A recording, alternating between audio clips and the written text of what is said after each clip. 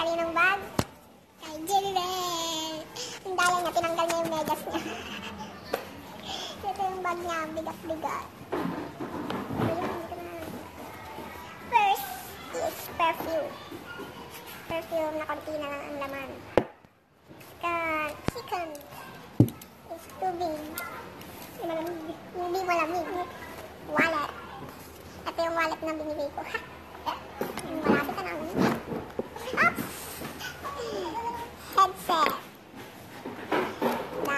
Daming resibo. Puro globe. Ay, hindi. Metro ba? Puro resibo po. Para lang may laman yung wallet. Tiyang, discount card. Wala namang silbi. Puro resibo. Nala to. Pagpalingkin sa akin dahil. Lumasalok nga bagas. Mantika hatlog. 70 pesos. And 25 centavo. Bigay lang, kinagyan si wallet na, mga ano, resibo, ibagbaknangan na.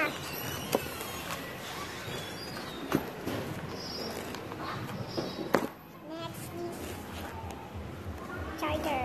Lagi siyang may dalang charger, tapos pag may nakikitang saksakan, agad-agad siyang nagsasaksak, tapos pag may employee na papasok, tatanggalin niya.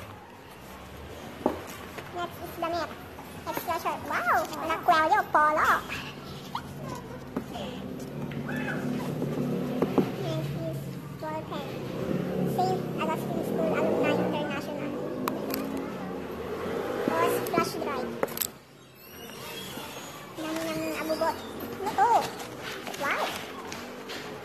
Mga papers niya. Nag-apply for SLU. Ay, hindi ba? Niya to. Wala, yung pa-xerox na lang. Remember, hanggang yun, natigipard pa yun. Ito yung ticket. Hindi naman siya nanalo. Sayang 100 pesos. Ang dami niyang alam, dami niyang papel. Daming papeles. Mm, there's more. Ay, ay. Mm, Puro papel. Next is...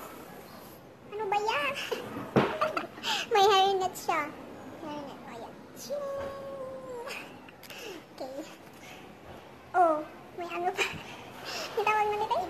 Lip- Lip tint daw, pero ano to? Water, co- coaster color. Ginagawa niya daw lip tint para mas pampant niya.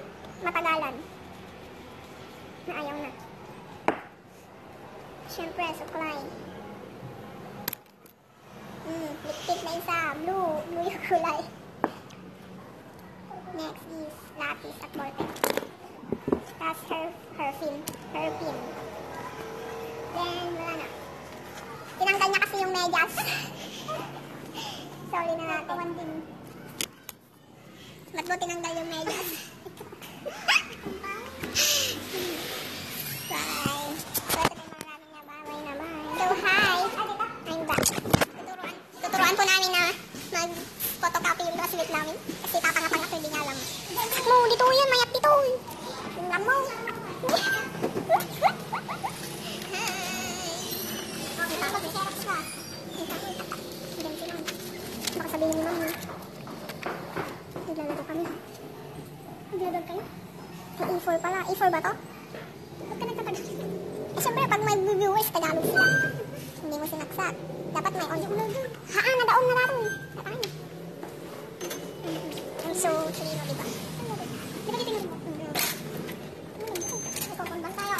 May kokonban ba? Wala namang kokonban. Ba't dito ka ba? Wala ka namang kokonban. Ang bagay ba? Wala ka namang kokonban. Dito ka ba? wala nang kuko, wala nang kuko. Sa loob, wala sa loob.